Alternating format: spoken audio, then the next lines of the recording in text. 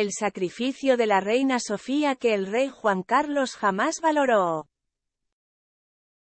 Aunque el rey Juan Carlos, 85 años, se enamoró a primera vista de la reina Sofía, 84 años, no le dio la vida que, según él, merecía. Antes de la boda, afirmaba que ella era, una de las pocas mujeres dignas, de la realeza. Y es que a diferencia de ella, él no tenía la formación y además su familia estaba en el exilio, así que era poco probable que llegara a convertirse en monarca. Sin embargo, Sofía de Grecia estaba dispuesta a todo por él. El rey Juan Carlos era un hombre muy diferente a lo que es hoy con sus achaques.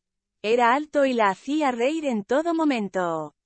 Por ello, su madre, la reina Federica, hizo todo lo posible para juntarlos y que la reina Sofía aceptara casarse con, el chico de los Barcelona.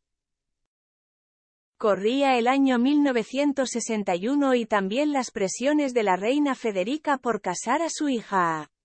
Así fue que tuvieron un encuentro en Londres en la boda de los duques de Kent y a los pocos meses, se anunció el compromiso. La boda se realizó el 14 de mayo de 1962.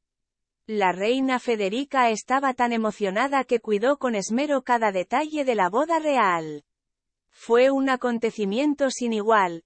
Todas las familias reales de Europa se dieron cita y acompañaron el apoteósico enlace.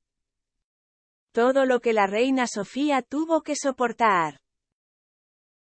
Lo que nunca imaginó su madre es que la felicidad duraría poco. Sofía de Grecia sonreía como nunca y el rey Juan Carlos aseguraba su futuro y su camino hacia el trono.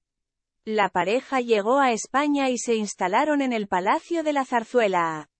Ella adoraba ese lugar, pues se sentía a gusto. No quería vivir con los padres del emérito en Portugal.